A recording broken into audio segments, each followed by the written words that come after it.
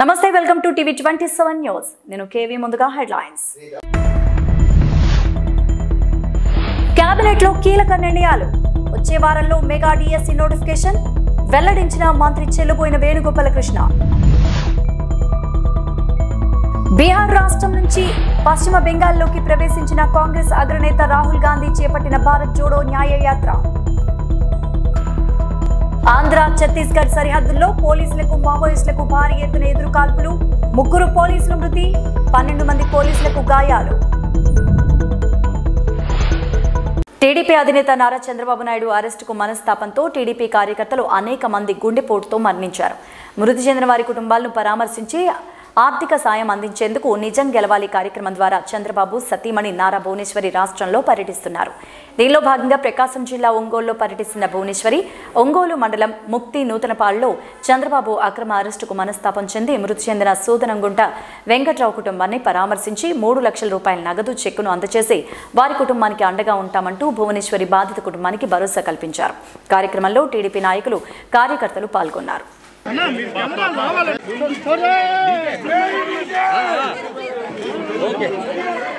Okay, okay, next, next. Moving, moving. అమ్మా madam లోపలికి వెళ్ళొద్దమ్మా. మధు మధు ఇంకో పారు. మధు. రామచంద్ర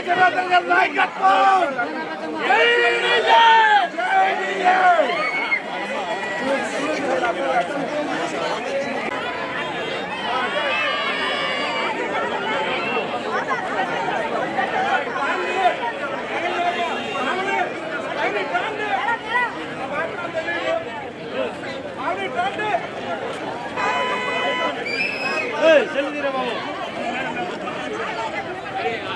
శివ శివ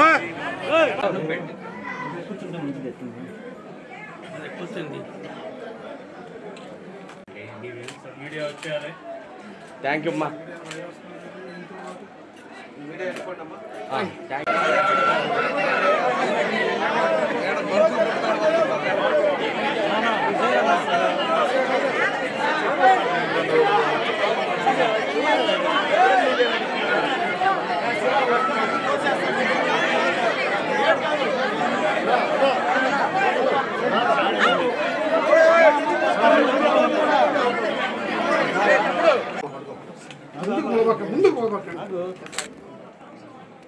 మేడం గారు మేడం గారు నాన్న, ఒక్క నిమిషం. మేడం గారు ఒక్క నిమిషం ఒక్క నిమిషం నాన్న, అయ్యా, ఉండు, వెనక్కి రా, ఉండు. ప్లీజ్ అన్న, వెనక్కి రావా? కొద్దిగా ముందరికి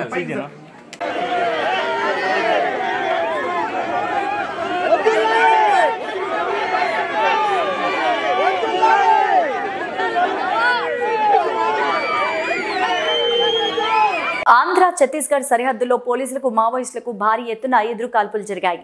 ఈ సంఘటనలో ముగ్గురు పోలీసులు మృతి చెందగా సుమారు పన్నెండు మంది పోలీసులకు గాయాలైనట్లు సమాచారం. సరిహద్దుల్లో టేకులగూడెం క్యాంపు నుంచి మావోయిస్టుల కోసం కోబ్రా డిఆర్జీ బలగాలు మంగళవారం ఉదయం గాలింపుకు వెళ్ళాయి మంగళవారం సాయంత్రం నాలుగు గంటల సమయంలో జోనగూడ అలీగూడ అటవీ ప్రాంతానికి గాలింపు బలగాలు చేరుకోగానే మావోయిస్టులు ఒక్కసారిగా ముప్పేటి దాడి చేశారు. మరోవైపు మందు పాత్రలు కూడా పేల్చారు. దీంతో గాలింపు బలగాలు కూడా తేరుకొని ధీటుగా ఎదురు కాల్పులు చేశారు. ఈ ఘటనలో ముగ్గురు పోలీసులు మృతి చెందగా మరో పన్నెండు మందికి గాయాలయ్యాయి. వీరిని హెలికాప్టర్లో రాయ్పూర్ ఆసుపత్రికి తరలించారు. ఎదురు కాల్పులను బస్తర్ ఐజీ సుందర్ రాజన్ ధృవీకరించారు. పోలీసులు జరిపిన కాల్పుల్లో ఎంతమంది నక్సలైట్లు మరణించారనేది ఇంకా తెలియలేదు. కాగా రెండు వేల ఇరవై ఒకటిలో ఇదే స్థలంలో నక్సలైట్ల ఆకస్మిక దాడిలో చిక్కుకుని ఇరవై మూడు మంది సైనికులు వీరమరణం పొందిన విషయం తెలిసిందే.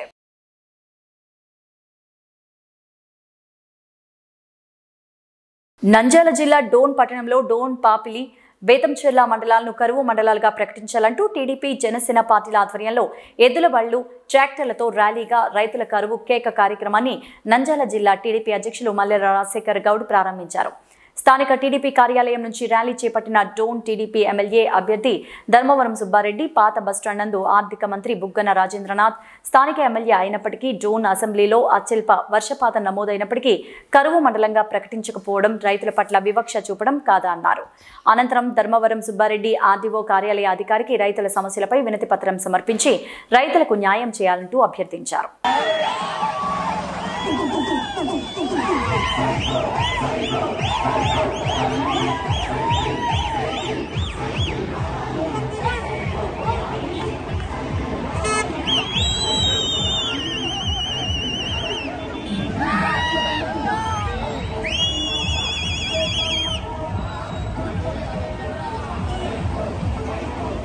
మనమందరం అవధూతలు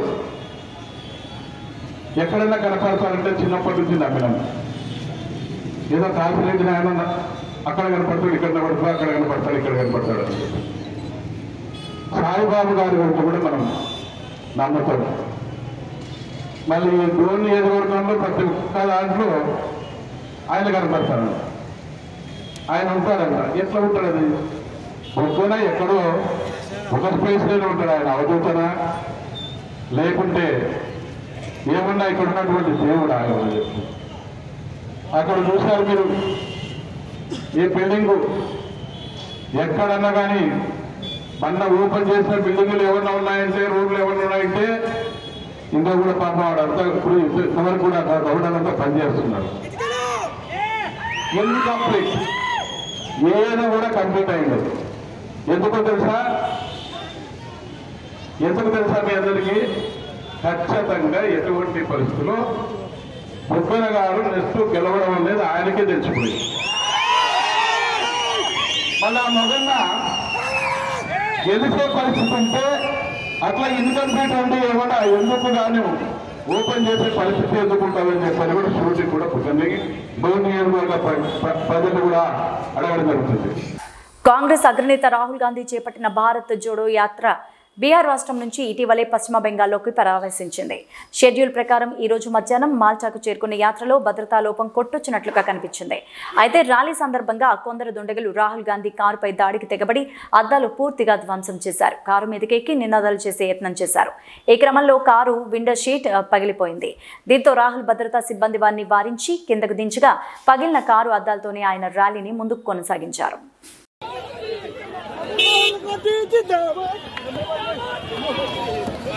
आया बना आया बना। थामा थामा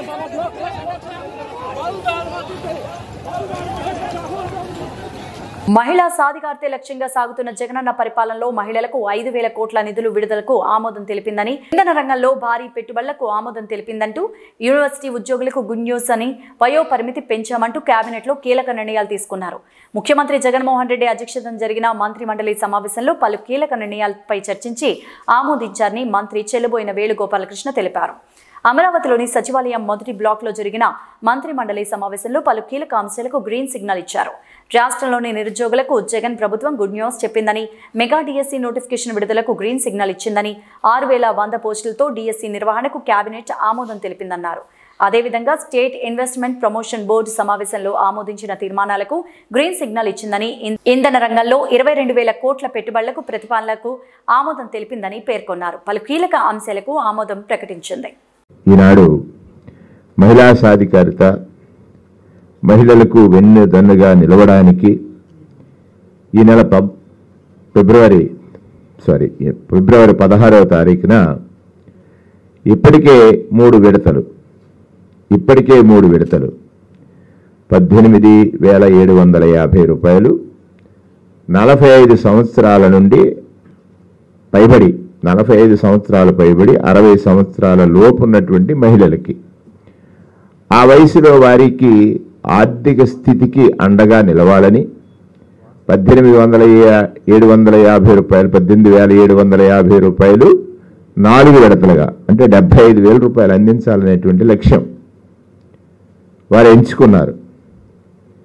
ఆనాడు చాలామంది ప్రతిపక్షాలు విమర్శ చేసినప్పటికీ కూడా చెప్పింది చేయటంలో మరెవరూ కూడా జగన్మోహన్ రెడ్డి గారికి సాటి రారు అన్నట్టుగా ఈ రాష్ట్ర ఆర్థిక పరిస్థితిపై అనేక ఆరోపణలు వచ్చినప్పటికీ ఆర్థిక పరిస్థితిపై అనేకమైనటువంటి అసత్య ప్రచారాలు జరిగినప్పటికీ కూడా అవన్నీ కూడా పటాపంచలు చేస్తూ నాలుగో విడత మహిళలకు చేయూత కార్యక్రమాన్ని అందించేటువంటి కార్యక్రమం. పదహారవ తారీఖు నుంచి రెండు వారాల పాటు. అంటే పదహారు నుంచి నెలాఖరు వరకు మహిళలకు అందించాలని. నాలుగో విడతగా ఇరవై ఆరు లక్షల తొంభై ఎనిమిది వేల తొమ్మిది వందల ముప్పై ఒక్క మందికి. నాలుగో విడతగా ఇరవై ఆరు లక్షల తొంభై ఎనిమిది వేల తొమ్మిది వందల ముప్పై ఒక్క మందికి ఐదు వేల అరవై కోట్ల నాలుగు లక్షల రూపాయలు. ఐదు వేల అరవై కోట్ల నాలుగు లక్షల రూపాయలు. సుమారుగా దాదాపు పద్నాలుగు లక్షల మంది మహిళలు స్వయం ఉపాధి పొందారు దీనిలో. ఇరవై ఆరు లక్షల తొంభై ఎనిమిది వేల తొంభై తొమ్మిది వందల ముప్పై ఒక్క మందిలో గాను పద్నాలుగు లక్షల మంది స్వయం సమృద్ధి సాధించారు. అంటే నెలకి వారికి అదనపు ఆదాయం ఏడు నుంచి పదివేల రూపాయలు సంపాదించే స్థితికి ఎదిగారు. ఈ పథకంలో ఉన్నటువంటి ముఖ్య ఉద్దేశం అది ముఖ్యమంత్రి గారిది. వేధిస్తున్నటువంటి అంశంగా చూస్తే ఇవాళ ఈ రాష్ట్రంలో ఉన్నటువంటి డిఎస్సి డిఎస్సి జరగాలి అనేటువంటి కోరిక ఉంది చాలామందిలో. వారందరికీ శుభవార్త ఇవాళ క్యాబినెట్లో మంత్రిమండలి ఆమోదించింది. మెగా డిఎస్సి నిర్వహించాలని మెగా డిఎస్సి నిరుద్యోగ యువతకు ఒక శుభవార్త మెగా డిఎస్సి. రాష్ట్రంలో ఉపాధ్యాయ పోస్టులు భర్తీ చేయాలన్నటువంటి కీలక నిర్ణయానికి మంత్రిమండలి ఆమోదం తెలియజేసింది. డిఎస్సి ఇరవై ఇరవై నాలుగు ద్వారా రాష్ట్ర వ్యాప్తంగా పాఠశాల విద్యాశాఖ గిరిజన సంక్షేమ శాఖ సాంఘిక సంక్షేమ శాఖ బీసీ సంక్షేమ శాఖ పరిధిలో ఉన్నటువంటి పాఠశాలల్లో ఆరు వేల వంద ఒక్క వంద ఆరు వేల ఒక్క వంద పోస్టుల భర్తీకి మంత్రిమండలి ఆమోదం తెలియజేసింది. ఇది ఈ రాష్ట్రంలో ఉన్నటువంటి ఎవరైతే ఉపాధ్యాయ వృత్తిని ఫ్యాషన్గా ఎంచుకుని ఉపాధ్యాయ వృత్తిలో ఎంటర్ అవ్వాలనుకున్నారో వారందరికీ కూడా జరిగిన ఒక గొప్ప శుభవార్తగానే మంత్రిమండలి ఈరోజు ఆమోదం తెలియజేసింది. ప్రభుత్వం ఏర్పడ్డ తర్వాత రెండు వేల పంతొమ్మిది నుండి ఒక విద్యారంగంలోనే ఒక విద్యారంగంలోనే పద్నాలుగు వేల రెండు వందల పంతొమ్మిది పోస్టులు ఈ ప్రభుత్వం నియామకం చేసింది. పద్నాలుగు వేల రెండు వందల పంతొమ్మిది పోస్టుల్ని ఈ ప్రభుత్వం నియామకం చేసింది. సబ్జెక్ట్ టీచర్లు కాన్సెప్ట్ దృష్ట్యా ఏర్పడినటువంటి ఖాళీలు ఏడు వేల ఏడు వందల అరవై ఒక పోస్టులు. దీంట్లో భాగంగా భర్తీ చేసింది ప్రభుత్వం. ఆనాడి గతంలో జరిగినటువంటి దాంట్లో. దీనికి అర్హత నలభై రెండేళ్ళు ఎస్సీ ఎస్టీ బీసీలకు ఇంకొక ఐదు సంవత్సరాలు వయో పరిమితిని సడలింపు ఇవ్వడం జరిగింది. రాష్ట్ర వ్యాప్తంగా నూట ఎనభై ఐదు సెంటర్లో పదిహేను రోజుల పాటు పదిహేను రోజుల పాటు రాష్ట్ర వ్యాప్తంగా నూట ఎనభై ఐదు సెంటర్లో పదిహేను రోజుల పాటు పాటలు పాటు పరీక్షలు నిర్వహిస్తాం. ఎనిమిది రోజులు టెట్ నిర్వహణ. దానితో పాటు ఇంకా ఉద్యోగ నియామకాలు ఉన్నాయి. అటవీ శాఖలో ఆరు వందల ఎనభై తొమ్మిది పోస్టులు భర్తీ చేయాలని. అటవీ శాఖలో ఆరు వందల ఎనభై తొమ్మిది పోస్టులు భర్తీ చేయాలని మంత్రి మండలి ఆమోదం తెలియజేసింది. ఇందులో ఆంధ్రప్రదేశ్లో బీసీల పార్టీ ఏదైనా ఉందంటే అది ఒక తెలుగుదేశం పార్టీ మాత్రమేనని మాజీ ఎమ్మెల్యే మదనపల్లి నియోజకవర్గ తెలుగుదేశం పార్టీ ఇన్ఛార్జ్ దొమ్మలపాటి రమేష్ అన్నారు. బుధవారం నియోజకవర్గంలోని నిమ్మలపల్లిలో ఏర్పాటు చేసిన జయహో బీసీ కార్యక్రమానికి ముఖ్య అతిథిగా ఆయన పాల్గొన్నారు.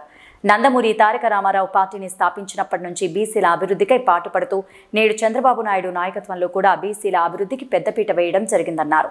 బడుగు బలహీన ఎస్సీ ఎస్టీ మైనార్టీ కులాలకు ఎక్కువ శాతం రిజర్వేషన్ కల్పించిన ఏకైక ప్రభుత్వం తెలుగుదేశమని సంక్షేమ అభివృద్ధి కార్యక్రమాల్లో కులమెత భేదాలు లేకుండా అందించారన్నారు.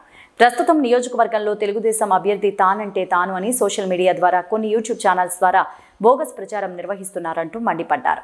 నిజంగా పార్టీ ఎవరికైనా బీ ఫామ్ ఇవ్వాలంటే అది పార్టీ కోసమే కష్టపడిన వ్యక్తికి దక్కుతుందని ఆ వరుసలోనే తాను ముందుంటానని చెప్పుకొచ్చారు. ఎన్నికల సమయంలో ప్రచారం చేసుకునే నాయకుల కన్నా కష్టసుఖాల్లో ఎల్లప్పుడూ ప్రజల వెంటే పార్టీ కోసం పనిచేసే నాయకుడికి మద్దతు ఇవ్వాలని కోరారు.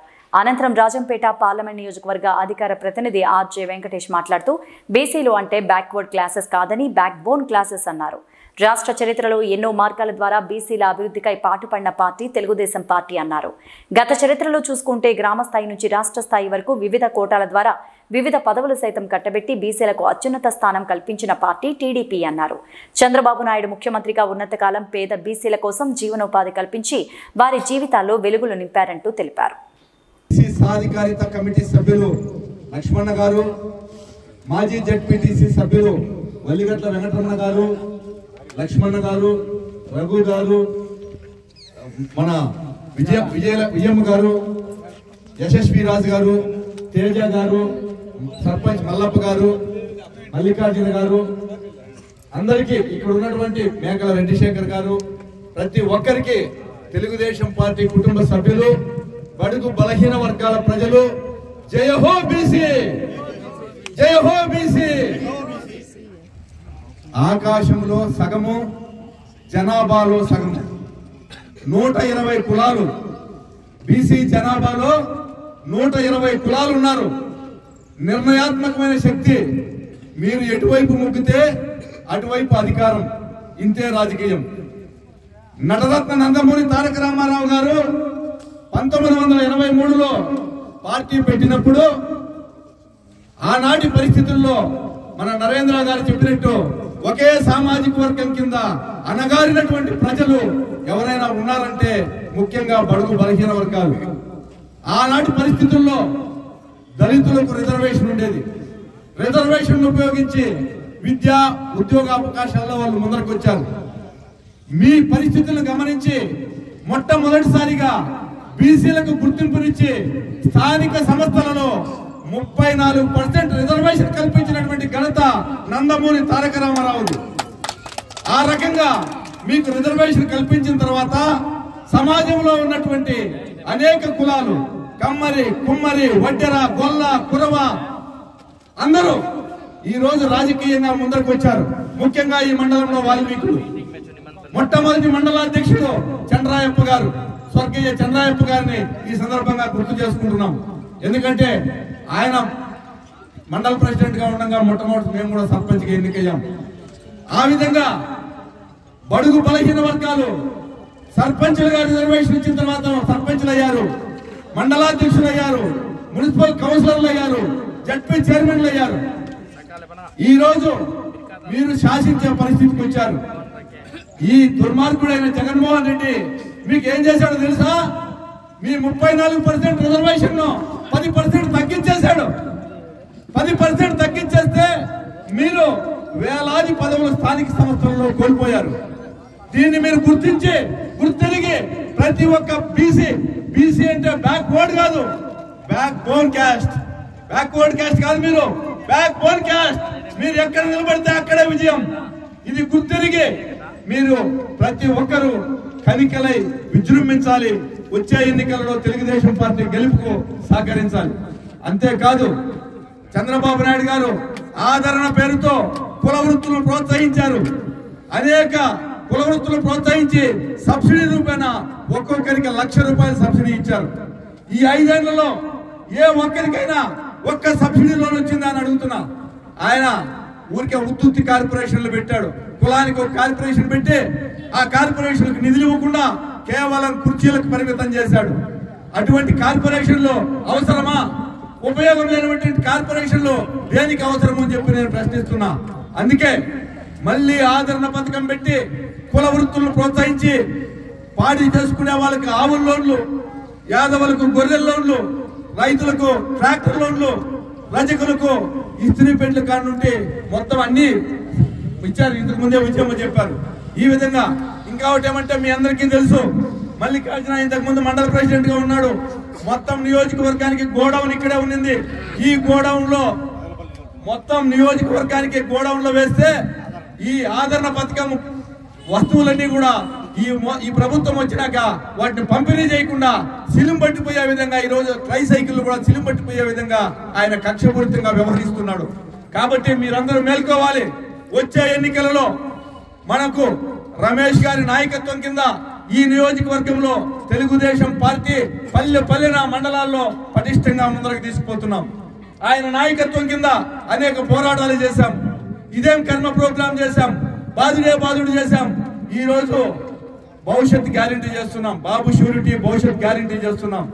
ఈ క్రమంలో పోరాట క్రమంలో రమేష్ మీద కాదు రమేష్ కుమారుల మీద యశస్విరాజ్ మీద మా మీద కూడా దుర్మార్గంగా పోలీస్ కేసులు పెట్టారు. కోర్టు తిరుగుతున్నాం. అయినా ఎక్కడ కూడా తగ్గకుండా జెండా పట్టి ప్రభుత్వం లేనప్పుడు ధైర్యంగా రమేష్ అంటే ఒక దమ్మున్న నాయకుడు ధైర్యంగా ఆయన వెనకంటే నడవడానికి సత్యవేడు ఎమ్మెల్యే ఆదిమూలం మంత్రి పెద్దిరెడ్డి రామచంద్రారెడ్డిని విమర్శించడం మానుకోవాలంటూ వైఎస్ఆర్సీపీ రాష్ట్ర సంయుక్త కార్యదర్శి ఎంఎస్ మణి తెలిపారు. బుధవారం ఎంఆర్పల్లిలోని ఆయన కార్యాలయం వద్ద ఏర్పాటు చేసిన విలేకరుల సమావేశంలో ఆయన మాట్లాడారు. సాధారణ కార్యకర్తగా ఎమ్మెల్యే స్థాయికి అయ్యావు అంటే అది చిత్తూరు జిల్లా పెద్ద అయిన మంత్రి పెద్దిరెడ్డి రామచంద్రారెడ్డి ఆశీస్సులతోనే ఆ స్థాయికి ఎదిగావని నువ్వు మర్చిపోవద్దంటూ గుర్తు చేశారు. రెండోసారి ఎమ్మెల్యే టికెట్ ఇప్పించిన మాట వాస్తవం కాదని వివరించారు. చంద్రబాబు నాయుడుతో కలుసుకుని తల్లిపాలు తాగి తల్లి రూమును గుద్దినట్లు నువ్వు పెద్ద ఆయన గురించి మాట్లాడడం విడ్డూరంగా ఉందన్నారు.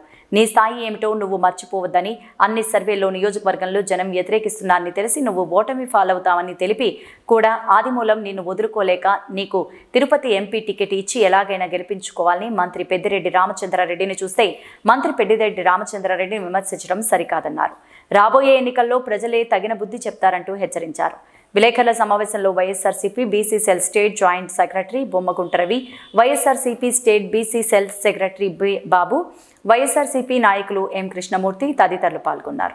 మగటం లేని మహారాజు రెండు వేల పంతొమ్మిదిలో పద్నాలుగు సీట్లు ఉండగా పదమూడు సీట్లు గెలిపించిన గొప్ప ఘనత కలిగినటువంటి పెద్దిరెడ్డి రామచంద్రారెడ్డి గారిని అవాకులు చవాకులు మాట్లాడిన ఆదిమూలము అతని స్థాయి మర్చిపోయి ఈరోజు పెద్దిరెడ్డి గారిని మాట్లాడడం ఎంతవరకు సబబు అని చెప్పని మీ ద్వారా నేను అడుగుతున్నాను.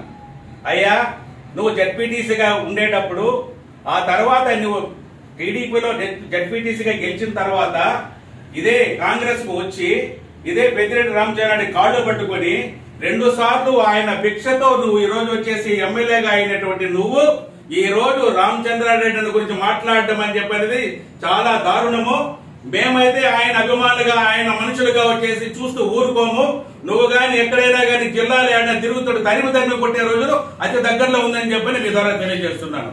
ఇంకొకటి ఏమంటే ఈయన రామచంద్రారెడ్డి కోట్లు సంపాదించాడని చెప్పన్నాడు. పుట్టుకొత్త ఆయన కోటీశ్వరుడు. నువ్వు యాక్చువల్గా నీకు సీటు రాకపోవడం కారణం ఏమి? వాస్తవానికి నువ్వు మంచివాడని చెప్పని కాన్స్టిట్యూన్సీలు అంటారు. నీ కొడుకు పరమ ద్రోహి పరమ లోపి వాడు. ప్రతి ఒక్కరి దగ్గర వెయ్యి రూపాయల నుంచి ఐదు వేల రూపాయల దాకా చందాలు వసూలు చేసుకుని ఒకే ఆర్ఐని వచ్చి నువ్వు కొట్ట ఎంఆర్ఓ ఆఫీస్లో కొట్టాడు ఈ సుమన్. కొట్టిన తర్వాత అదే ఆర్డీఓకి సంబంధించి కొత్త రెవెన్యూ డిపార్ట్మెంట్ వాళ్ళు అతని దగ్గర సారీ చెప్పించినారు. ఇలాంటి ఘనత కలిగిన సుమన్ నీ కుమారుడు. అసలు నీకు ఈ రోజు ఎమ్మెల్యే టికెట్ రాకపోవడానికి కారణం ఏమి తెలిసినా నీ కొడుకే నీ పుత్రరత్నం సుమన్ అని చెప్పిన వాళ్ళే నీకు ఇవ్వలేదు. అయినా మా అన్న పెదిరెడ్డి రామచంద్రన్న ఏం చేశారు? నీకు పాపము చాలా పెద్ద ఆయన మంచివాడు మనతో ఉండాడని చెప్పిన ఉద్దేశంతో నీకు ఆ టికెట్ వద్దు ఎమ్మెల్యే ఎంపీ టికెట్ తీస్తానని చెప్పి నీకు చెప్పితే నీకు ఎంపీ టికెట్ ఇష్టం లేకపోతే చెప్పు ఆ మాట నాకు ఇష్టం లేదన్నా నేను నిలబడను నాకు ఆరోగ్య రీతిలో బాగాలేదని చెప్పాలి. కానీ నువ్వు వచ్చేసి ఈ రోజు వచ్చేసి పెద్దిరెడ్డి రామచంద్రన్ వచ్చేసి అవాకు చౌకలు మాట్లాడతావా నువ్వు? నువ్వు నీ స్థాయి మధ్య మాట్లాడుతున్నావు ఆయుధమూలం గారు. నేను గాడు అనకూడదు గాడు అనాల? అయినా పెద్దరికం కాబట్టి మేము అనం అట్లా. ఆయుధమూలం ఇంకోసారి కానీ నువ్వు కానీ అన్న గురించి కానీ మాట్లాడితే నిన్ను వదిలే సమస్య లేదు. ఆయనకి ఈ జిల్లాలో చూసారా? ఈ జిల్లానే కాదు. రాష్ట్రంలో జగన్మోహన్ రెడ్డి తర్వాత రెండో స్థానం మూడో స్థానంలో ఉన్నటువంటి రామచంద్ర గురించి మాట్లాడటం నీ అర్హత కాదు. ఎల్లెలికలు పడుకొని ఎంగిలు వస్తే నీ నెత్తిన పడుతుంది. నువ్వు ఏమనుకొని మాట్లాడుతున్నావు ఈ రోజు నీకు ఈ రోజు వచ్చే తెలుగుదేశంలో టికెట్ వస్తుందని చెప్పిన ఉద్దేశంతో నువ్వు మాట్లాడుతున్నావు. వాళ్ళు చెప్పారా? చంద్రబాబు నాయుడు చెప్పాడా? లేదంటే నీకు కళ్యాణ్ పవన్ కళ్యాణ్ చెప్పాడా? రామచంద్ర గురించి మాట్లాడాలని చెప్పని చెప్పండి. నీకు ఎట్లా నోరు వస్తుంది అసలు? రెండు సార్లు వచ్చి రెండు సార్లు గెలిచింది ఆయన ఫిక్స్తో కదా? రాజకీయ ఫిక్స్ ఇచ్చింది రామ్ రామచంద్ర గారు. ఇదే జగన్మోహన్ రెడ్డి గారు చెప్పి తీయించినారు అన్న. అలాంటి వ్యక్తులు మాట్లాడమని చెప్పండి. చాలా దారుణమో చాలా హేయమైన చర్య. మేము తీవ్రంగా హెచ్చరిస్తున్నాము. ఇంకోసారి కానీ అన్న గురించి కానీ మాట్లాడితే ఎవరు ఫిబ్రవరి ఏడు నుంచి తొమ్మిది వరకు ఎస్కేఎస్ కళ్యాణ మండపం నందు ఇరవై ఐదవ అఖిల భారత సాయి మాస్టర్ భక్త సమ్మేళనం ఆధ్వర్యంలో తిరుపతి జిల్లా సూళ్ళూరుపేట పట్టణంలోని ఆచార్య భరద్వాజ్ సేవా సంస్థ ఆధ్వర్యంలో కోళ్ళమిట్ట శ్రీ వెంకయ్య స్వామి భక్త బృందం వారిచే ఫిబ్రవరి ఏడు ఎనిమిది తొమ్మిది తేదీల్లో అఖిల భారత సాయి మాస్టర్ భక్త సమ్మేళనం ఘనంగా నిర్వహిస్తున్నారు. ఈ సందర్భంగా నిర్వాహకులు మున్నే ముద్దు చంద్రబాబు మాట్లాడుతూ ఫిబ్రవరి ఏడున ప్రారంభమై ఎనిమిది తొమ్మిది తేదీల్లో ఉదయం ఎనిమిది నుంచి సాయంత్రం ఎనిమిది వరకు స్థానిక ఎస్కేఎస్ కళ్యాణ మండపం నందు ఇరవై ఐదవ రజతోత్సవ అఖిల భారత సాయి మాస్టర్ భక్త సమ్మేళనంలో ఆధ్యాత్మిక ప్రవచనాలు నిర్వహించబడుతున్నాయని తెలిపారు.